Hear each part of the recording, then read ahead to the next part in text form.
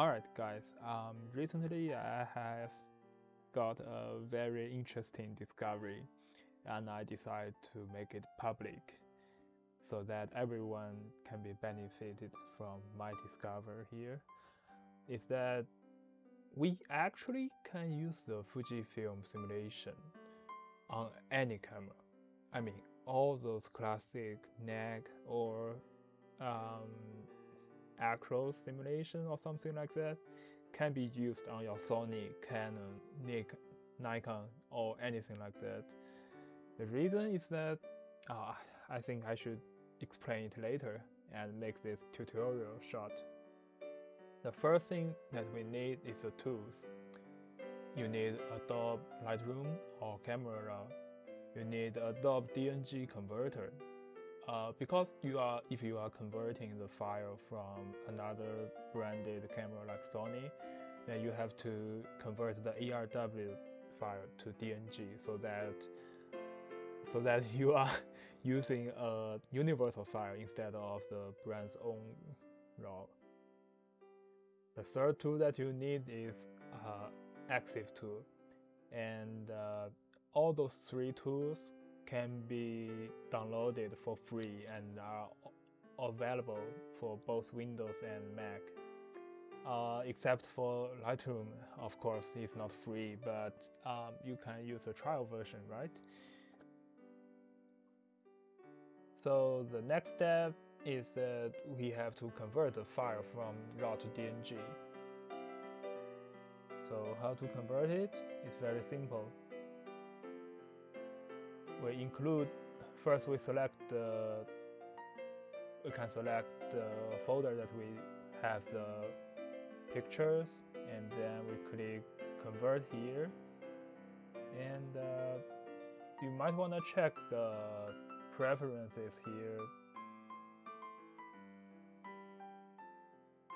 And make sure that you want to do the things that you want. Okay so it says now it has been converted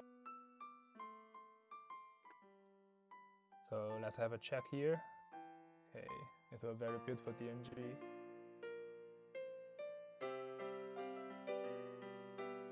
The next thing that you want to do is to hold shift and right click on your mouse, then choose to open the PowerShell window or command CMD window over there.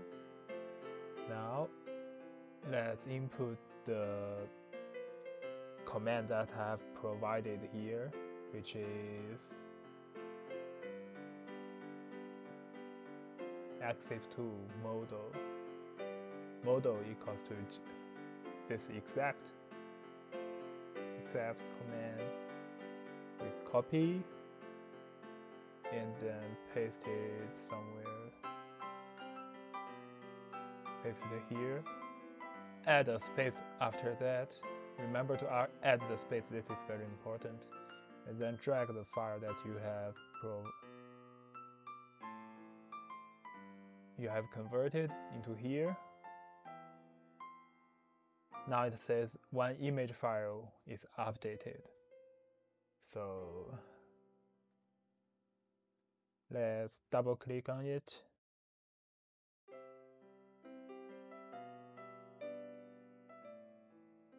So now we can double click on it and uh,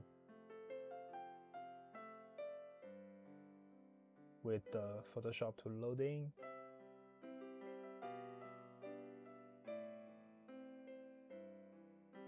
Okay, so now it has a camera and click on profile here.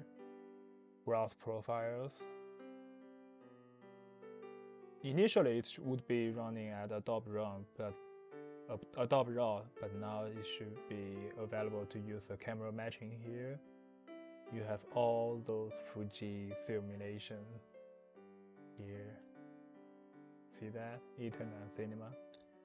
And Classic Neg. And Bleach Bypass. Acros.